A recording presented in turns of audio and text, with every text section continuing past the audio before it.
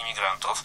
Mówi się, że my też jesteśmy imigrantami zarobkowymi na wschodzie, na, na w innych krajach w związku z powyższym jesteśmy egoistami, jeżeli zamykamy się na imigrantów. No jeszcze raz powtarzam, nie zamykamy się, bo mamy imigrantów i to w liczbie już półtora miliona, a sami jak jedziemy na y, zachód Europy pracować, to przecież też y, y, asymilujemy się z tamtymi społeczeństwami, przestrzegamy prawa, które tam obowiązuje i, i szanujemy obyczaje i zwyczaje, które tam panują. No a jeśli chodzi o uchodźców, no to przyjmujemy tych, którzy rzeczywiście uchodźcami są. Tylko w województwie lubelskim, pragnę to podkreślić i proszę, żeby wszyscy, którzy nas słuchają, dokładnie te dane podkreślali, bo to pokazuje fałszywą tezę, że jesteśmy zamknięci na uchodźców. Tylko w województwie lubelskim w tym roku, w tym pierwszym półroczu 2017 roku przyjęliśmy 1250 uchodźców, głównie z Czeczeni, bo zdecydowana większość to byli Czeczeni. To są ludzie, którzy udowodnili, że rzeczywiście e, należy im się status, status uchodźcy, bo uciekają przed wojną i przed zagrożeniem, które e, tam w ich kraju pochodzenia rzeczywiście realnie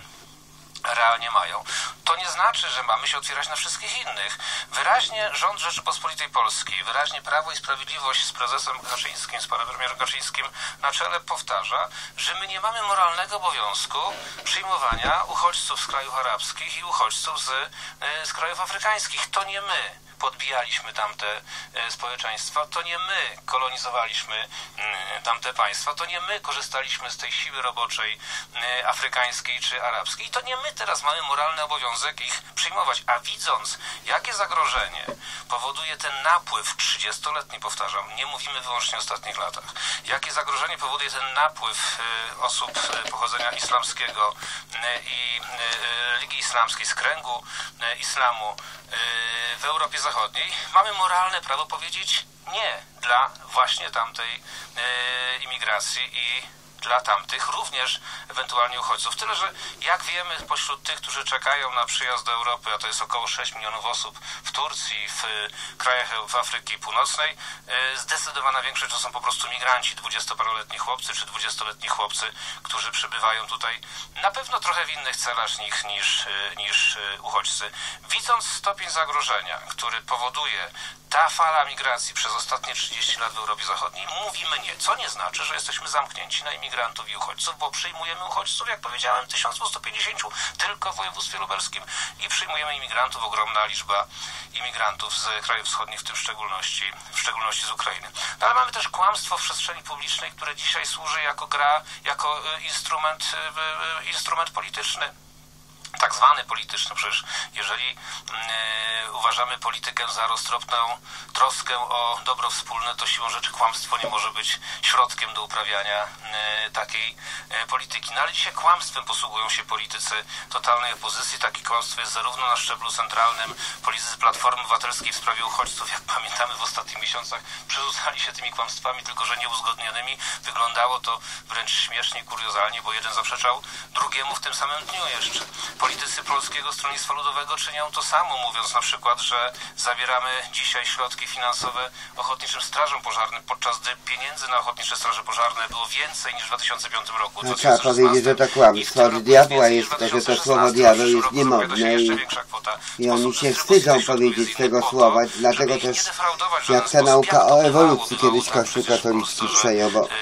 że sprzęt pożarniczy nie chciał być taki uwsteczniony, ale teraz to uwstecznienie jest bardzo na, na topie, jest bardzo modne.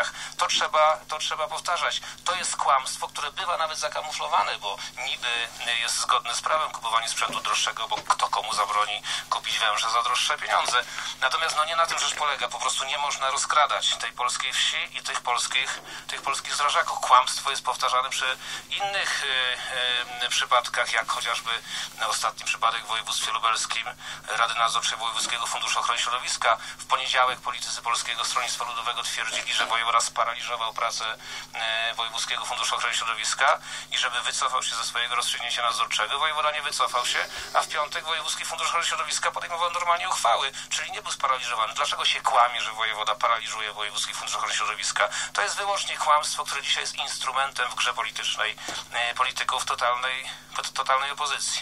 To do niczego nie prowadzi. Żeby oprzeć się temu kryzysowi Unii Europejskiej, żeby wyjść z tego kryzysu Unii Europejskiej, my musimy być w środku Unii Europejskiej. Zarzuca się nam, że jesteśmy antyeuropejscy. Nie jesteśmy antyeuropejscy, jesteśmy pełnoprawnymi członkami Europejskiej, chcemy pozostać w Unii Europejskiej, bo jak mówił święty Jan Paweł II, Europa potrzebuje Polski, a Polska potrzebuje Europy.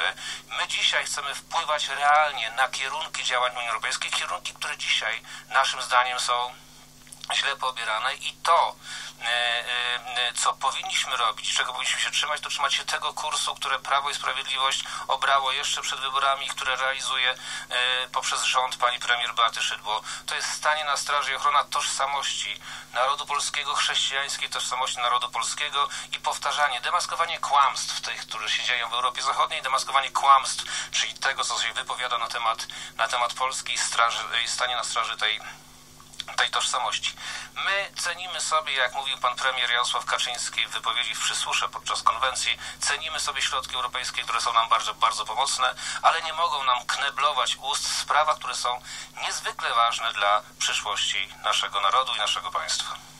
Dziękujemy za ten e, studi wstęp, jeszcze i podsumowanie tamtej części. Pan profesor Przemysław Czarnek i teraz pan profesor Robert e, Ptaszek, filozof kultury i religii. Bardzo prosimy panie profesorze o narysowanie tutaj zakresu mm, problemu, można powiedzieć i może tak, pierwsze skąd to się wszystko wzięło, skąd ten kryzys, a potem też no, jakie lekarstwa trzeba zastosować, czy środki zaradcze. Pan wojewoda powiedział już bardzo wiele. Ja może zacznę od e, rzeczy dosyć oczywistej, ale jest tak oczywista, że o niej często zapominamy. E, skąd biorą się e, różnego rodzaju nieporozumienia, fałsze, a czasami wręcz kłamstwa z tego, że nieprecyzyjnie posługujemy się językiem. I wobec tego chciałbym zacząć, zanim będziemy mówili o kryzysach Unii Europejskiej, chciałbym zwrócić uwagę na kilka takich nieporozumień, które utrudniają nam zrozumienie tego problemu. Często nie odróżniamy Europy i Unii Europejskiej. To są jednak dwie zupełnie mm, różne rzeczywistości. No bo czym jest Europa? Europa jest przede wszystkim pewnym tworem ideowym. No bo to, co łączyło Europę, to, co ją łączyło i sprawiło, że Europa jest taka, a nie inna, że osiągnęła rozwój cywilizacyjny nieporównywalny w zasadzie z innymi kontynentami, że to Europejczycy wyruszali na podróże, odkrywali nowe lądy i tak dalej, tym było chrześcijaństwo, chrześcijańskie idee, chrześcijański system wartości, to mhm. wszystko, co zbudowało chrześci... to wszystko, co było oparte na ideach chrześcijańskich. I dopóki Europa trwała przy tych ideach, e, rozwijała się. Oczywiście były różnego rodzaju kłopoty i nadużycia, ale idee chrześcijańskie, przekonanie o tym, że człowiek jest stworzony na obraz i podobieństwo Boga, że człowiek jest istotą, która potrafi podejmować rozumne decyzje, odróżniać dobro od zła i tak dalej, to wszystko decydowało o tym, że Europa y, i jej system wartości był wyjątkowy. Koncepcja człowieka jako osoby, równość mężczyzn, kobiet, to wszystko jest osiągnięciem Europy. I teraz y, to wszystko mm, trwało i kiedy po II wojnie światowej pojawił się pomysł y, stworzenia wspólnoty politycznej, która to wspólnota miała utrudnić czy też uniemożliwić powstawanie kolejnych konfliktów i y, wojen, które w XX wieku tak zniszczyły nasz kontynent, początkowo Unia Europejska, jak powiedział już pan profesor Czarnek, miała być zbudowana na fundamencie chrześcijaństwa. Natomiast szybko okazało się, że pojawiły się inne tendencje i kolejne dokumenty, kolejne decyzje e, Unii Europejskiej e, pokazywały, że chrześcijaństwo próbuje się z różnych powodów, e, z różnych powodów zepchnąć na margines i w końcu się to udało. No, tak jak wspominałem, w tej chwili jedyny dokument, do którego odwołuje się Unia Europejska w 2017 roku, jedyny dokument programowy, który e, pan Jean-Claude Juncker podaje w swoim swojej Białej Księdze Przyszłości Europy, to jest manifest z Ventotene włoskiego komunisty Altiero Spinellego, który twierdzi, że należy zlikwidować państwa należy zlikwidować e, poszczególne e, granice, poszczególne państwa europejskie, a ideałem jest, chodzi o stworzenie państwa federalnego, które e, dysponuje w europejską armią. Trzeba skończyć z gospodarczą samowystarczalnością. Potrzebna jest wspólna europejska armia, która skłoni niechętnych do zaakceptowania. Takie są w tej chwili takie są w tej chwili oficjalne, ideowe wytyczne, do których odwołuje się Unia Europejska. Jak to się stało? Stało się to w taki sposób, że środowiska nam się, żyjąc w Polsce i mając polskie doświadczenia, nam się wydaje, że to, co nazywamy ideologią marksistowską, to jest ideologia, którą udało nam się e, przezwyciężyć. No bo uzyskaliśmy, odrzuciliśmy marksizm, uzyskaliśmy wolność. W Europie rzecz wygląda zupełnie inaczej. Tam filozofia marksistowska miała się jak najlepiej. Tam filozofia marksistowska e, pojawiła się razem z rewoltą młodzieżową na uniwersytetach w latach 60. Tam później rozwinął się postmodernizm, o którym y, pan profesor Czarnek wspomniał, a postmodernizm jest to przekonanie, że nie ma czegoś takiego jak powszechnie akceptowana prawda, a najważniejszy jest człowiek, który mo może podejmować wolne decyzje. No ale żeby to wprowadzić, trzeba było uporać się jakoś z chrześcijaństwem, bo chrześcijaństwo twierdziło, że to nie jest tak, że człowiek nic nie musi. Człowiek jest kimś, kto, yy, komu Bóg dał zadanie do zrealizowania, wobec tego wolność człowieka nie polega na tym, że robi co chce. Wolność człowieka polega na tym, że wybiera najlepsze środki, którym, yy, którym, które mają doprowadzić go do osiągnięcia do celu, celu, jakim jest zbawienie. A wobec tego Kościół stał się, stał się przeciwnikiem Kościół, przekonanie, że istnieje powszechna prawda, no bo z tej prawdy wynikają normy moralne, które to normy przecież wymagają czegoś od nas, właściwych zachowań, właściwych relacji, zrezygnowania z własnego, e, czasami z własnego egoizmu, myślenie o innych, altruizm, miłość bliźniego i tak dalej. I to wszystko stało się bardzo niepopularne. Wobec tego, ponieważ nie można było tego przeprowadzić e, w sposób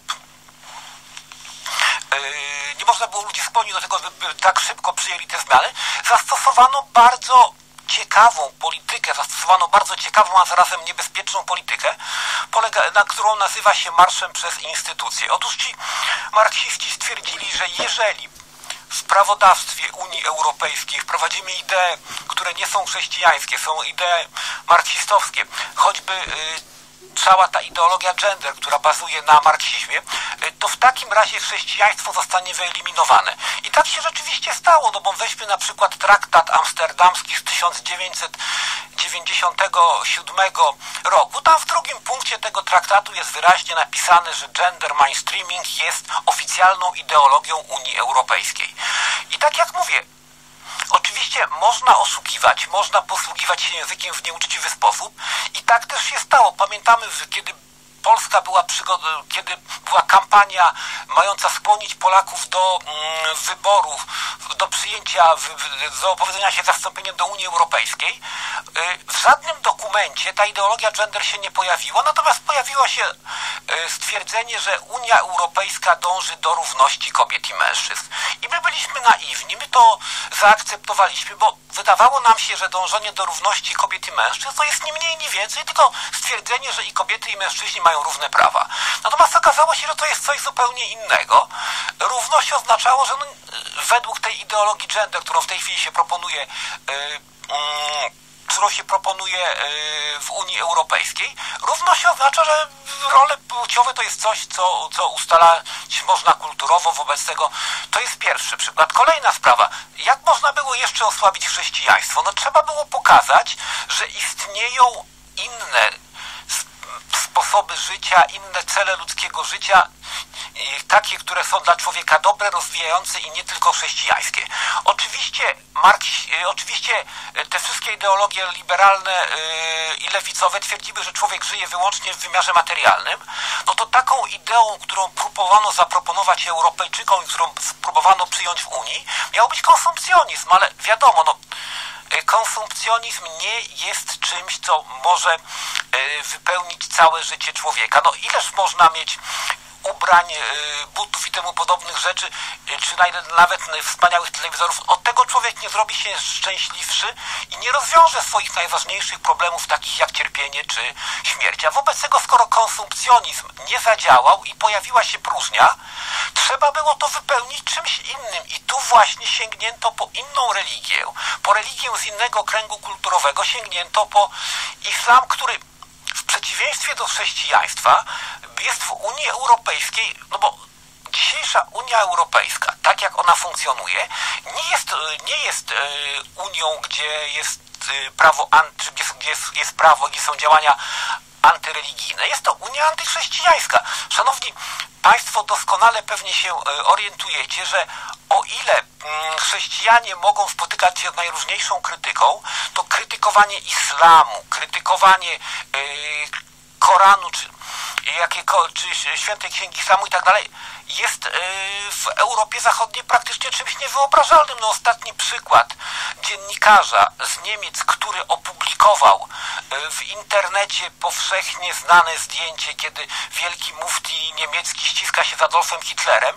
Jest, jest zdjęcie znane, pokazujące to wydarzenie. Za coś takiego w wolnym niemieckim kraju, który troszczy się o wolność polskich mediów, otrzymał karę sześciu miesięcy więzienia w zawieszeniu za pokazanie czegoś, co jest prawdą i co jest faktem. A wobec tego spróbowano wprowadzić do Europy islam w nadziei, że będzie to religia, która osłabi chrześcijaństwo. Problem polega na tym, i to jest problem może nie tyle uchodźców, ale problem samego islamu, że ci, którzy to zrobili, nie rozumieją natury tej religii.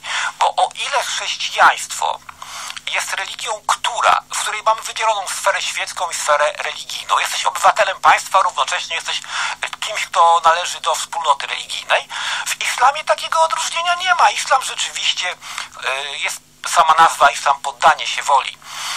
Allaha i islam określa wszystkie dziedziny ludzkiego życia. E, dla muzułmanina bycie e, człowiekiem wierzącym znaczy przestrzeganie prawa. A prawo mówi jasno, że należy y, wszelkimi środkami y, dążyć do tego, by islam y, rozprzestrzenił się na całym świecie, a wobec tego próba wprowadzenia islamu do Europy sprawia, że islam to zaczyna traktować Europę jako teren, który jest terenem do opanowania, terenem do podbicia. No i w tej chwili mamy już tego efekt strefy non-go, do których nie można, do których nie można yy, nie wchodzą już ani siły wojskowe, ani siły policyjne, o pogotowiu nie wspominając. To wszystko powoduje, że Europa, która odwróciła się od y, chrześcijaństwa, coraz bardziej staje się muzułmańska. No przypomina to mniej więcej y, taki pomysł, żeby y, ponieważ nie wszystko nam odpowiadało, a wobec tego byliśmy e, przeziębieni i mieliśmy katar. Wobec tego, żeby e, wyleczyć się z tego kataru w ten sposób, że zarażamy się gruźlicą. To jest mniej więcej coś takiego. Nie podoba nam się chrześcijaństwo, ale chrześcijaństwo to zastępujemy islamem, który jest religią totalną i religią, który, e, która nie akceptuje czegoś takiego jak świecki sposób życia. No i w tej chwili mamy głęboki kryzys ideowy Unii Europejskiej. Co więcej, osoby, które zaprosiły migrantów do Europy, takie jak Angela Merkel, nie mogą przyznać się do swojego błędu, no bo jeżeli przyznają się do swojego błędu, to nie wygrają następnych wyborów i stracą władzę. No i brniemy w ten ślepy zaułek i efekt jest taki, że mm, Europa, którą znamy, Europa, która zbudowana y, była na wartościach chrześcijańskich, odchodzi w zapomnienie. Europa staje się obszarem, gdzie zsierają się różne idee. Idee chrześcijańskie są coraz bardziej tłumione, coraz bardziej rozwija się islam. Co z tego wyniknie? Trudno powiedzieć, ale nie jest to perspektywa zbyt optymistyczna i dlatego można mówić o kryzysie Europy i z drugiej strony należy cieszyć się niezwykle, że te tradycyjne wartości europejskie, wartości, na których Europa została zbudowana, przetrwały w Polsce i że nasz rząd troszczy się o to, żeby budować na tych wartościach. Wobec tego, jeśli Unia Europejska próbuje w jakiś sposób yy, wpływać na politykę rządu, no to mówi przyłączcie się do nas, do grupy samobójców, którzy straciliśmy swoją własną tożsamość. A to nie jest dobra alternatywa. To tyle, co chciałem powiedzieć w tym wstępnym wprowadzeniu. E, mam nadzieję, że nie, zateorytyzo nie zateorytyzowałem Państwa na śmierć. Bardzo potrzebne wstępy, dlatego że e, dyskusje nasze pewnie potem zawsze jednak ograniczają e, takie wypowiedzi no, no, osobiste słuchaczy, ale są też i pytania, więc apelujemy też, żeby pytań nie, nie brakło. Natomiast można powiedzieć, że mm, kiedy jesteśmy w szczęśliwym położeniu, że myśmy tutaj, ja myślę, że przynajmniej pan profesor Czarnek uczestniczył w, rozmowach jeszcze przed podpisaniem wejścia do Unii Europejskiej. Czy żeśmy e, ostrzegali środowiska właśnie tutaj e, żydowskie, tak można powiedzieć chrześcijańskie stowarzyszenia mówiły, uważajmy na co wchodzimy, bo oprócz tego, że wejdziemy w pewien krąg ekonomiczny, poprawy jakości życia, czy poprawi się jakość naszego bezpieczeństwa i czy nie stracimy wartości, prawda? I była, była gorąca dyskusja i tak właściwie można powiedzieć, że no, mówiliśmy.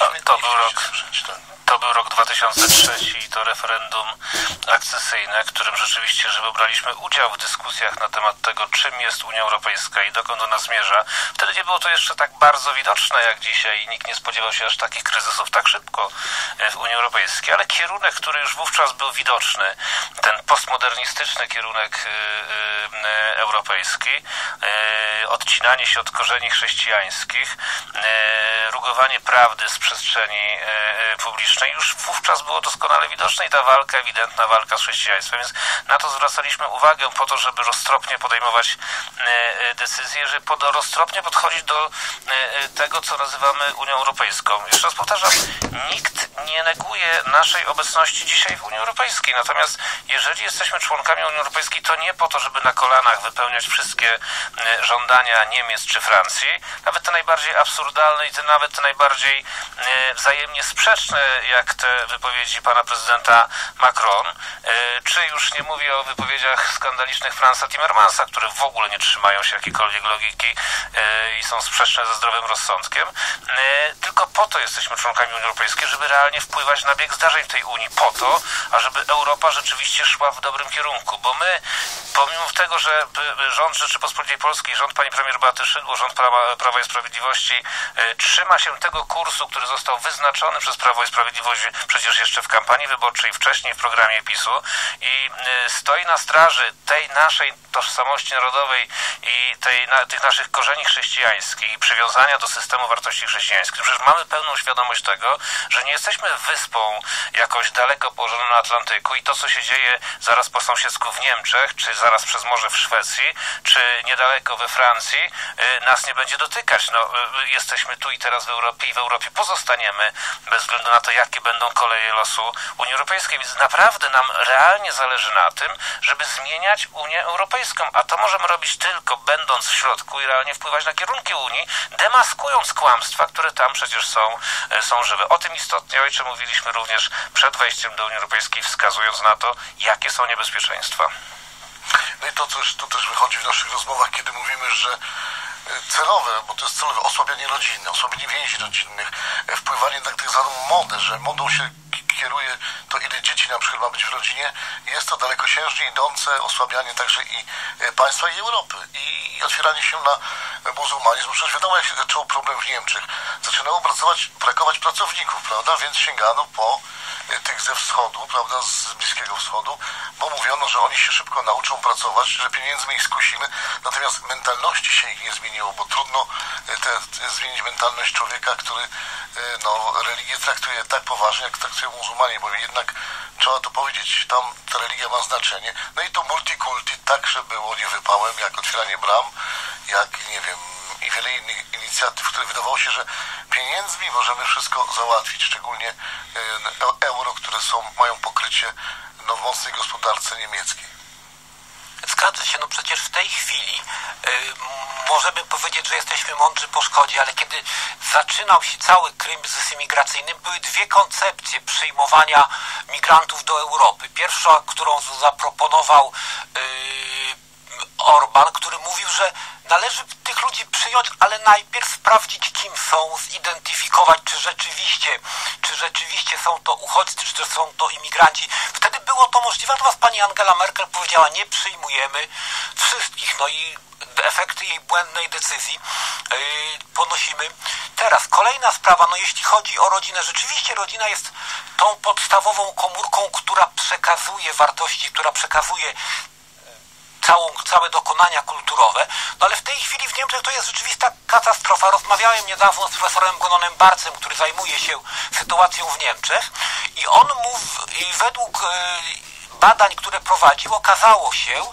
że dzisiejsze młode pokolenie Niemców 10, e, w ciągu wśród 10 głównych aspiracji życiowych młodego Niemca nie ma założenia rodziny, a wobec tego są to ludzie, którzy zrezygnowali z czegoś, co wydawałoby się naturalne, oczywiste i niepodlegające dyskusji. W tej chwili połowa Niemców żyje już, żyje już e, samotnie, a wobec tego jest to społeczeństwo, które gwałtownie wymiera. No i w tej chwili już, tak jak powiedziałem, w niektórych miastach niemieckich e, większość e, mieszkańców stanowią muzułmanie. No i teraz już czekanie cierpliwie, co będzie, kiedy demokratycznie wprowadzą w Niemczech prawo szariatu, no to może być bardzo szokujące dla Europy doświadczenie.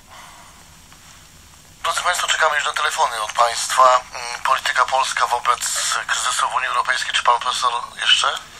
Nie, no ja oczywiście, oczywiście przy, przysłuchuję się, zgadzamy się, tylko że pan Żełdasz, zgadzamy się w 100%, natomiast przysłuchuję się panu profesorowi, temu co pan profesor mówi. Rzeczywiście to z jednej strony no, jest tak oczywiste, że aż, że aż śmieszne, że tego nie widzą krytycy z, z tej totalnej opozycji, z innych środowisk, nawołujące do otwierania się na imigrantów z, z Arabii, z krajów arabskich i z afrykańskich, a z drugiej strony jest przerażające, bo to rzeczywiście w tym kierunku idzie. Niedawno była taka konferencja e, na, e, na Kulu prowadzona przez Regionalny Ośrodek e, Debaty Międzynarodowej przez naszych studentów z Astra Lublinensis, z Legii Akademickiej i to te, temat tej konferencji to było pojednanie polsko-ukraińskie. Temat trudny, zwłaszcza tam na wschodzie Polski, gdzie rzeczywiście żywo w pamięci mamy to wszystko, co się działo na Wołyniu w 1943 roku i później.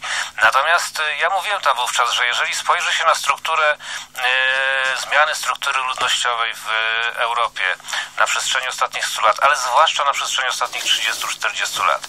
Jeśli spojrzy się na to, w jaki, e, szybki, nieprawdopodobnie szybki, przyspieszony w ostatnim czasie e, sposób zmienia się struktura religijna e, ludności w, Europie Zachodniej, to może się okazać, że jeżeli ten proces się nie powstrzyma, a to oznacza, że nie wyjdziemy z kryzysu, bo żeby wyjść z kryzysu trzeba najpierw go dostrzec, nie wyjdziemy z kryzysu Unii Europejskiej, to to oznacza, że za 10-15 lat może się okazać, że pomimo wszelkich zaszłości historycznych, wszelkich win i wszelkich rzeczywiście e, dramatycznych rzeczy, ludobójstwa, które miało miejsce na Wołyniu, i tak nam dużo łatwiej będzie się dogadać z ludźmi ze wschodu niż z ludźmi zachodu, bo z, z, z tymi, którzy będą przestrzegać prawa szariatu, my na pewno zdania wspólnego mieć nie będziemy. Poza tym też to tutaj, co mówił e, pan jeszcze wcześniej, pan wojewoda, że no musimy mieć jednak jakiś język dyplomatyczny. Mamy do tej, do tej pory dosyć konkretny, ale nawet taki trochę twardszy, bo na przykład odpowiedzi tego typu na zarzuty, czy ataki pana Macron, czy no wcześniej nam Chirac też zwracał uwagę, nie? żeśmy stracili okazję być cicho. Teraz nam się mówi, że powinniśmy się zacząć uporządkować wewnętrznie, bo nie ma porządku w Polsce. Ale przepraszam bardzo, to kto ma większy interes? To jest też dobry argument ekonomiczny. Francuzi, Francja w Polsce czy Polska we Francji. Patrzymy nawet na sklepy. Intermarché, Brickmarché, Auchan i tak dalej. To jest czysty, czysty zysk idący do, do Francji. Natomiast my jesteśmy, więc e, to też jest jakieś pytanie, prawda, że do, do, no wreszcie możemy po pięciu tam latach bycia w Unii Europejskiej, no nie, nie ciągle mówić moja wina, moja wina, bo, bo tak nas nauczyła Platforma, że ciągle albo na kolanach, albo ci, siedzieć cicho, może by nie stracić urzędów, na przykład, nie wiem, właśnie komisarza, jednego, drugiego, wtedy się liczy jednym z podstawowych przyczyn, jedną z podstawowych przyczyn tego kryzysu Unii Europejskiej jest właśnie e, interes drobnych grup, drobnych, ale bardzo mocnych grup interesów w Europie Zachodniej, e, ludzi, którzy wyciągają pieniądze z innych krajów Unii Europejskiej. Proszę Państwa, no przecież nikt z nas nie ma wątpliwości, jeśli się troszeczkę bardziej zagłębi w analizie, że przecież te pochukiwania ze strony Francji, e, które mamy, z którymi mamy do czynienia od zawsze, od, od kilkunastu lat, od, od dwóch dekad, od momentu, kiedy aspirowaliśmy do Unii Europejskiej, kiedy byli jesteśmy w Unii Europejskiej, to przecież nie jest, nie jest jakiś e, zupełnie bez przyczyny. Chirac rzeczywiście mówił, że nie wykorzystaliśmy szansy na to, żeby być cicho. Hollande niedawno wypomniał pani premier Beacie Szydło, że my mamy zasady, my Polacy, ale oni Francuzi mają pieniądze. No a dzisiaj pan Macron mówi, że stawiamy się na marginesie e, Unii Europejskiej. Otóż e, te wszystkie słowa, zwłaszcza słowa pana prezydenta Macron, są podyktowane tylko i wyłącznie tym, że oni czują zagrożenie dla pieniędzy, które wypływają z Polski właśnie w tamtym kierunku. Nie ma co do tego wątpliwości. Ale, jest... no właśnie,